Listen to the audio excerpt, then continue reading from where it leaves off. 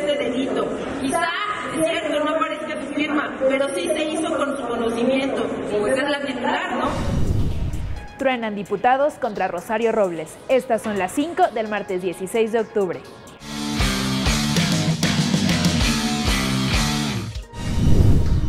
Rosario Robles acudió a la Cámara de Diputados a una comparecencia dominada por los señalamientos de desvíos en Sedatu y Sedesol bajo su gestión y el retraso en la reconstrucción tras los sismos.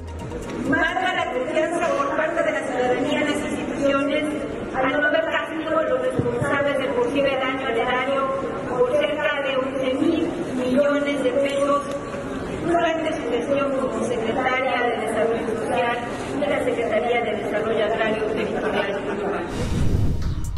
Mexicanos contra la Corrupción y la Impunidad expuso que la Secretaría de Salud infló en un 30% su cifra de cobertura de vacunación de niños menores de un año. Aprovechando el reconocimiento al colectivo Solecito de Víctimas de Desaparición, la alta comisionada de Naciones Unidas para los Derechos Humanos urgió a México implementar de manera eficaz la Ley General sobre Desaparición de Personas. Para alentar con urgencia al Estado mexicano a adoptar medidas eficaces tendientes a remontar el doloroso flagelo de la desaparición.